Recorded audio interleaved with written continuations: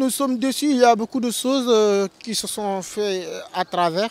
Euh, je, suis, très déçu de ce scandale parce que je, ne pensais pas que le directeur du code ose faire ça, même aux étudiants et de la population du Sénégal.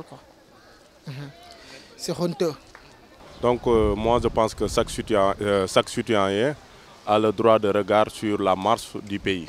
Donc si Pape Alé constate que bon, il y a des choses qui ne vont pas dans ce pays, il a le droit d'écrire un livre là-dessus.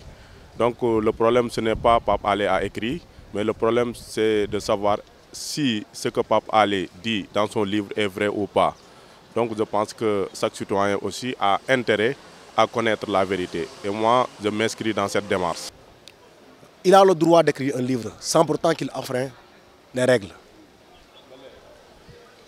S'il a jugé nécessaire qu'il y a des choses qui ne vont pas bien et que par rapport à, son, à, son contribution, à sa contribution au temperament, euh, il peut avoir des comment, dire, euh, changements de démarche.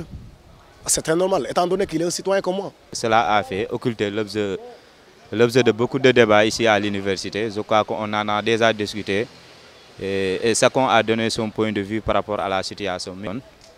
Parce que vraiment, euh, ça m'a effrayé. J'ai été vraiment sur, sur, sur, surpris euh, de voir une telle révélation. Mais le scandale qu'il a annoncé, je pense bien qu'il a fait des recherches empiriques avant de le faire. C'est pas moi, hein, en toute franchise.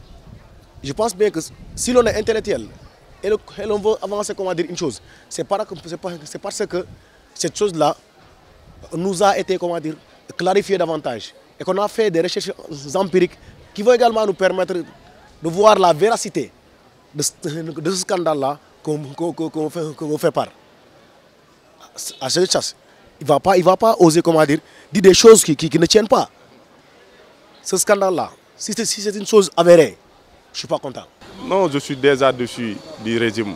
Je suis déjà dessus du régime parce que beaucoup de réalisations qui, a, qui ont été annoncées par le président de la République n'ont pas pu euh, voir le jour. Donc je suis déçu dès le début. Donc c'est pourquoi le livre ne m'a pas surpris.